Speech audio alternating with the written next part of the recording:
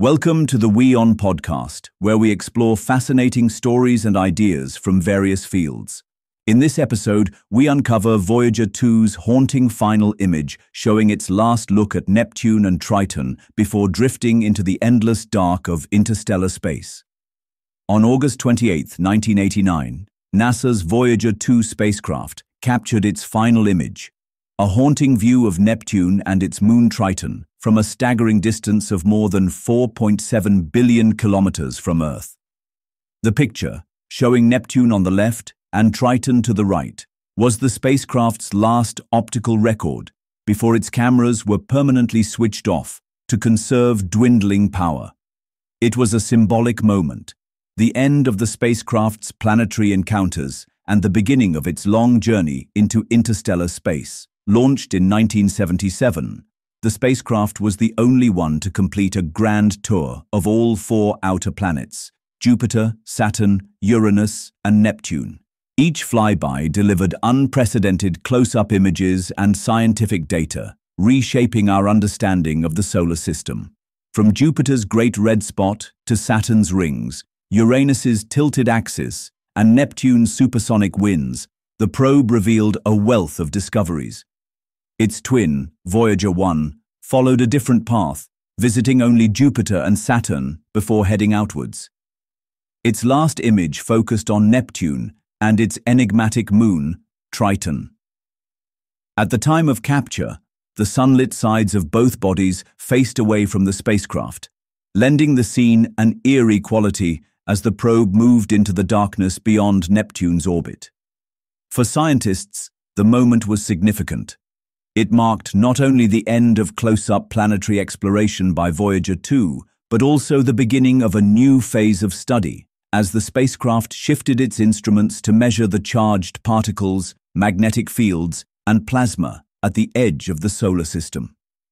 Among Voyager 2's many findings, Triton stood out.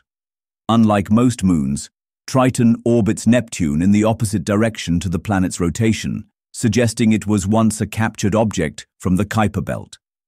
Its images revealed geysers of nitrogen erupting from its icy surface, evidence of active geology on a frozen world. These discoveries changed scientific perspectives on moons as dynamic and diverse bodies, not just passive companions to their planets. After shutting down its cameras, it reconfigured its mission to focus on interstellar exploration. Without the energy demands of optical imaging, the spacecraft has continued sending back invaluable data about the heliosphere, the vast bubble of particles and magnetic fields generated by the Sun. In 2018, it crossed into interstellar space, joining Voyager 1 in becoming humanity's most distant emissaries. Both probes continue to operate, though engineers anticipate that by the end of this decade, their power reserves will finally be exhausted. The spacecraft's final Neptune portrait also serves as a bookend to its journey. Its very first images, taken of Jupiter in 1979, stunned the world with unprecedented clarity of the gas giant's storms and moons. Ten years later, its last camera shot of Neptune and Triton closed the curtain on an era of discovery the contrast between those two moments highlights the sheer scale of Voyager 2's achievement, spanning billions of kilometers and decades of exploration.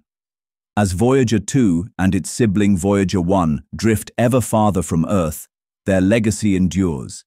They carried with them the Golden Record, a message for any potential extraterrestrial intelligence, and they transformed planetary science forever.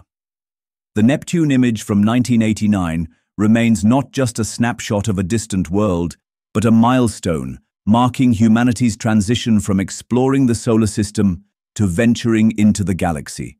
Thanks for tuning into this incredible story. If this episode resonated with you, don't forget to hit the like and subscribe button for more captivating stories to come. Stay tuned.